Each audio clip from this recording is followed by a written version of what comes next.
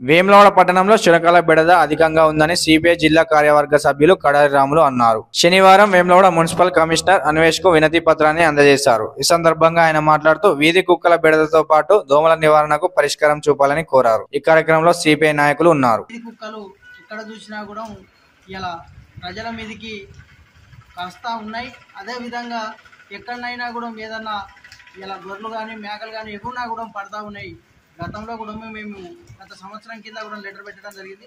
ప్రధానంగా ఆ కుక్కలను అనేది వీధి కుక్కలను వెంటనే తొలగించి ఇవాళ ప్రజలకు ఇబ్బందులు జరగకుండా చూడాలనేది కోరుతా ఉన్నాం. అదేవిధంగా ఇలా వానలు పడతా ఉన్నాయి వర్షాకాలం ఉన్నది సీజనల్ వ్యాధులు ఇలా ప్రజలకు జరుగుతాయని చెప్పడం జరుగుతూ ఉంది. ప్రధానంగా చూస్తే గోరెలలో నీళ్ళుంటే పారవేయడం జరుగుతూ ఉంది.